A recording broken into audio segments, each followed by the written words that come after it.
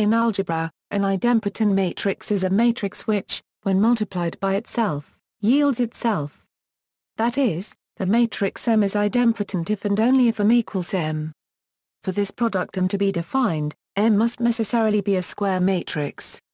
Viewed this way, idempotent matrices are idempotent elements of matrix rings. Example, examples of A and an idempotent matrix are and, respectively.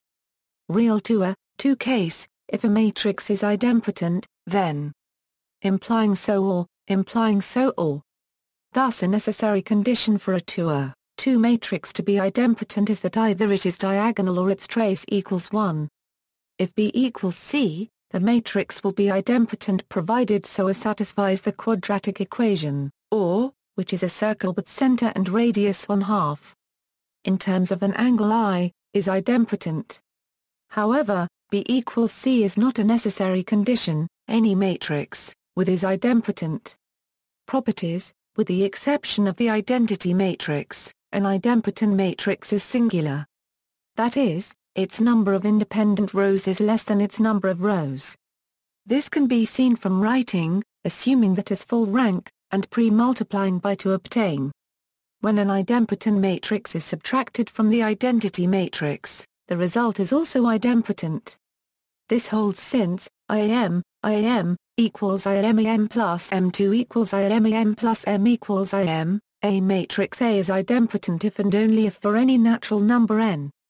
The if direction trivially follows by taking. The only if part can be shown using proof by induction.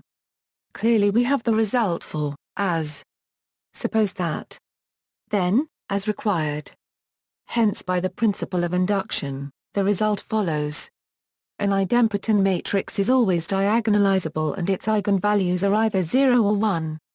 The trace of an idempotent matrix a euro the sum of the elements on its main diagonal a euro equals the rank of the matrix and thus is always an integer. This provides an easy way of computing the rank, or alternatively an easy way of determining the trace of a matrix whose elements are not specifically known. Applications Idempotent matrices arise frequently in regression analysis and econometrics. For example, in ordinary least squares, the regression problem is to choose a vector of coefficient estimate so as to minimize the sum of squared residuals i.e., in matrix form. Where y is a vector of dependent variable observations, and x is a matrix each of whose columns is a column of observations on one of the independent variables. The resulting estimator is where superscript t indicates a transpose, and the vector of residuals is. Here both M and are idempotent and symmetric matrices, a fact which allows simplification when the sum of squared residuals is computed. The idempotency of M plays a role in other calculations as well, such as in determining the variance of the estimator.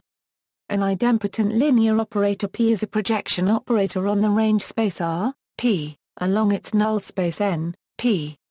P is an orthogonal projection operator if and only if it is idempotent and symmetric.